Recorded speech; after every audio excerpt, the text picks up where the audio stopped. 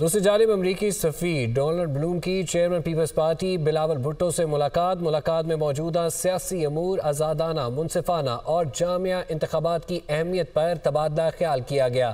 پاک امریکہ تجارتی اور سرمایہ کاری تعلقات کی مضبوطی پر بھی بات چیت کی گئی۔ فی الوقت اتنا ہی۔